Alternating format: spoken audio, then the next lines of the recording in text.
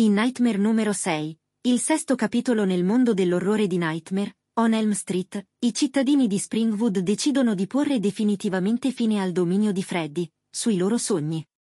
Freddy finalmente si confronta con l'unica persona che non è mai stato capace di sconfiggere, una psicologa che ora scopre la fonte degli incubi di tutta la sua vita, la figlia di Freddy.